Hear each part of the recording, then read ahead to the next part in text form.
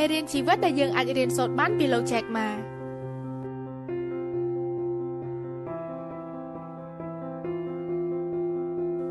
ចែកម៉ាគឺជាមហាសេដ្ឋីជនជាតិចិនមួយរូបដែលបានឆ្លងកាត់នៅបទពិសោធន៍ដ៏ជូរចត់បំផុតក្នុងជីវិតរបស់លោក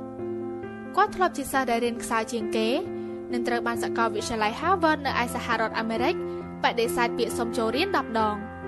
មិនត្រឹមតែប៉ុណ្ណោះ លោកធ្លាប់ត្រូវបានគេបដិសេធ30ដង នៅពេលដែលលោកបានដាក់ពាក្យសុំចូលធ្វើការងារ30កន្លែងអ្វីដែលកាន់តែអាម៉ាស់ទៀតនោះនៅពេលដែលមានបេក្ខជន24នាក់ដាក់ពាក្យធ្វើការនៅក្នុងក្រុមហ៊ុន KFC គឺមានតែលោកម្នាក់គត់ដែលគេមិនជ្រើសយកការចាប់ផ្ដើមរបស់លោកដំបងក្នុងអាជីពជាគ្រូបង្រៀនភាសាអង់គ្លេសលោកទទួលបានប្រាក់ខែត្រឹមតែ12ដុល្លារក្នុងមួយខែបន្ទាប់មកទៀតលោកក៏ក្លាយជាសហគ្រិនដ៏ជោគជ័យ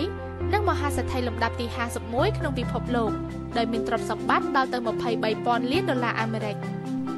ខាងក្រោមនេះគឺជាសម្រងសម្ដីទស្សនៈដ៏មានអត្ថន័យចំនួន9ឃ្លារបស់លោក Jack Ma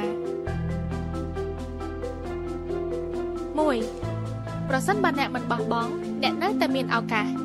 ការបោះបង់គឺជាបរាជ័យមួយយ៉ាងធំធេង2ថ្ងៃនេះលំបាកថ្ងៃស្អែកកាន់តែវេទនា ហើយថ្ងៃខានស្អែកនឹងស្រស់បំប្រងមិនខាន3ប្រសិនបើអ្នកមិនធ្លាប់សាកល្បងធ្វើទេ អ្នកនឹងមិនដឹងថាអ្នកនៅមានឱកាសឬអត់4ប្រសិនបើអ្នកចង់បង្កើតក្រុមហ៊ុនដ៏អស្ចារ្យត្រូវគិតដល់បញ្ហាសង្គមដែលអ្នកអាចដោះស្រាយបានវាតកតងជាមួយនឹងការដោះស្រាយបញ្ហាសង្គម5មនុស្សគ្រប់គ្នាគួរតែមានក្តីសុបិនមួយ6 ពេលយើងមានលុយយើងចាប់ផ្ដើមសាងកំហុស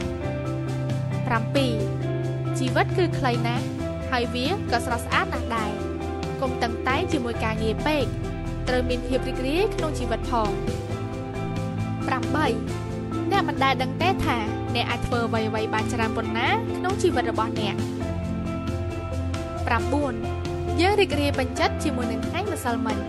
ប៉ុន្តែ យើងកំពុងតែសម្លឹងមើលទៅកាន់ថ្ងៃស្អែកដែលកាន់តែល្អប្រសើរ